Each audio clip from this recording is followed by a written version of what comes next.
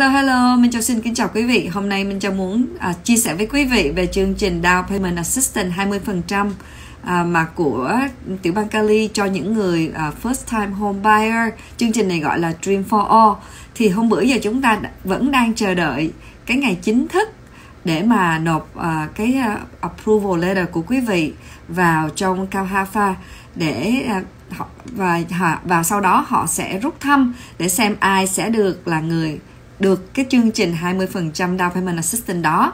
Thì quý vị cũng biết rồi à, chúng ta đã chờ đợi rất là lâu rồi ha. Thì hôm nay cái ngày mà họ sẽ bắt đầu nhận những cái là loan pre-approval là ngày mùng 3 tháng 4 và ngày 29 tháng 4 sẽ là ngày cuối cùng để mà mình nộp cái uh, pre-approval uh, loan của mình vào. Thì sau đó họ sẽ bốc thăm họ sẽ bốc thăm để xem ai là người sẽ được cái phân đó được 20% down payment assistance đó.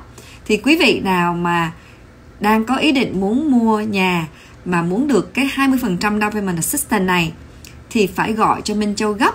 Tại vì chúng ta chỉ có từ mùng 3 tháng 4 cho đến ngày 29 tháng 4 để nộp cái loan pre-approval vào mà thôi. Cho nên quý vị phải gửi cho Minh Châu giấy tờ hồ sơ để Minh Châu giúp làm cái pre-approval cho quý vị ngay bây giờ. Số phone của Minh Châu là 408 393 2068 408 393 2068. Minh Châu sẽ làm một cái lớp học à, về cái chương trình này và Minh Châu sẽ gửi cái ngày mà Minh Châu làm cái lớp học đó cho quý vị để quý vị tìm hiểu thêm về chương trình.